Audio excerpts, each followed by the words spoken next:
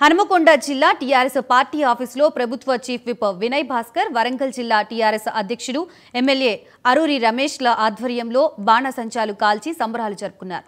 రాబోయే ఎన్నికల్లో తెలంగాణలో ఇలానే తీర్పు ఉంటుందని ప్రభుత్వ చీఫ్ విప్ ధాన్యం వినయ్ భాస్కర్ అన్నారు. మూడోసారి కూడా కేటీఆర్ సీఎం అవుతాడని అంటున్న ప్రభుత్వ చీఫ్ విప్ వినయ్ భాస్కర్తో మా Warangal correspondent Tirupati face to face మున్నోడు ఉప ఎన్నికల్లో టీఆర్ఎస్ పార్టీ అభ్యర్థి కుసుకుంట ప్రభాకర్ రెడ్డి గెలుపుతో వరంగల్ ఉమ్మడి జిల్లా వ్యాప్తంగా టీఆర్ఎస్ పార్టీ శ్రేణులు పెద్ద ఎత్తున సంబరాలు చూసిన పరిస్థితి.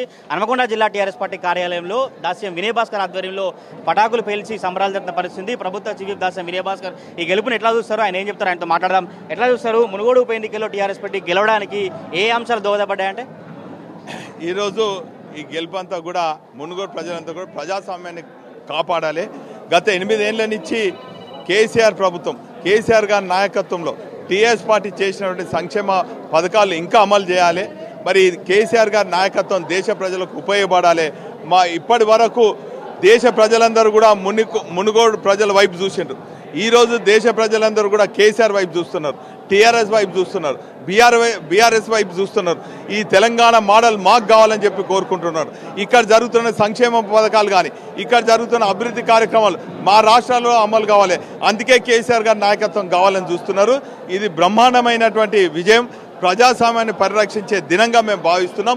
ఎందుకంటే ఈ ఎన్నికలు కావాలని తీసుకొచ్చి ఒక కాంట్రాక్టర్ అవతారం ఎత్తినటువంటి శాసనసభ్యుని రాజీనామా చేయించి కాంగ్రెస్ ఓట్లతో గెలిచి వామపక్షాల మద్దతుతో గెలిచి ఈరోజు కాంగ్రెస్ పార్టీకి వామపక్షాల పార్టీకి మునుగోడు ప్రజలకు ద్రోహం చేసి మరి కాంట్రాక్టర్ డబ్బుతోని పద్దెనిమిది వేల కోట్లు మరి సంపాదించి ఆ డబ్బులతోని మరి ప్రజలను మభ్యపెట్టి మరోసారి శాసనసభ్యుని కావాలని చెప్పి శాసనసభలో అడుగుపెట్టాలని చెప్పి ఆశించినటువంటి వారికి భంగపాటు జరిగిందన్నటువంటి విషయాన్ని సందర్భంగా తెలియజేస్తాను నైతిక విజయం మాదే టీఆర్ఎస్ పార్టీ మొత్తం ఎమ్మెల్యేలను ఇక్కడ మోహరించారు. డబ్బులు మధ్యంతో కూడా గెలిచారంటూ కూడా బీజేపీ నాయకులు ఆరోపిస్తారు. ఏం చెప్తారు? ఈరోజు ఒక కేంద్ర మంత్రి గల్లీ గల్లీ తిరిగిండు. దానికి ఏం చెప్తారు? వాళ్ళ శాసనసభ్యులు ఉన్నారు. వాళ్ళ మాజీ శాసనసభ్యులు ఉన్నారు. కేంద్ర మంత్రులు వచ్చిండ్రు. కేంద్రంలో ఉన్నటువంటి పార్టీ నాయకులు వచ్చిండ్రు. మేము గ్రామాన ఉన్నాం. కానీ వాళ్ళు గల్లీ గల్లీకి ఉన్నారు. దానికి ఏం చెప్తారు? ఏదేమైనప్పటికీ కూడా ఒక పండుగ ఒక శుభకార్యం ఒక ఇంట్లో అయినప్పుడు ఆ కుటుంబ సభ్యులందరూ కూడా వచ్చి తల ఒక పని చేస్తారు. ఒకరు అన్నం వండుతారు వాళ్ళు ఇస్తారాకులు వేస్తారు ఓ నీళ్ళు సప్లై చేస్తారు ఓ పండ్లు కోస్తారు కూరగాయలు కోస్తారు ఇవన్నీ కూడా చేస్తారు. అట్లనే ఇది మా మా కుటుంబ సమస్య. మా అధినేత ఇచ్చిన పిలుపు మేరకు మేము గులాబీ సైనికులుగా త్రీ ఇయర్స్ పార్టీ శ్రేణులుగా మా బాధ్యత నిర్వహించి తప్పేముందండి? మునుగోడులో సిట్టింగ్ సీట్ని కాంగ్రెస్ కోల్పోయింది. తెలంగాణలో టీఆర్ఎస్ పార్టీకి ప్రత్యర్థిగా బీజేపీ పార్టీ కాంగ్రెస్ పార్టీ అంటే ఏం చెప్తారు?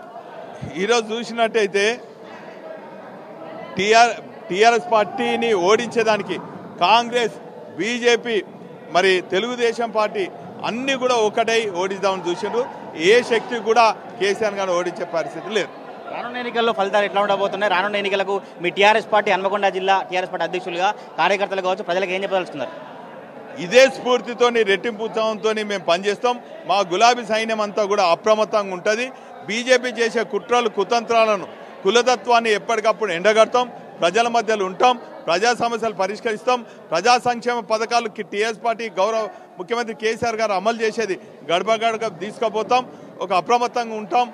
మరి ప్రజల పక్షాన నుండి ఇదే తీర్పు వచ్చే విధంగా మా గులాబీ సైన్యం కృషి చేస్తుంది. ఎప్పుడు ఎన్నికలు వచ్చినా కూడా మరోసారి ముచ్చటగా మూడోసారి మా కేసీఆర్ గారు ముఖ్యమంత్రి కాబోతున్నారు. మొత్తానికి వరంగల్ ఉమ్మడి జిల్లా వ్యాప్తంగా టీఆర్ఎస్ పార్టీ శ్రేణులు పెద్ద ఎత్తున సంబరాలు చేసినటువంటి పరిస్థితి రానున్న కాలకంలో ఇదే స్ఫూర్తితో టీఆర్ఎస్ పార్టీ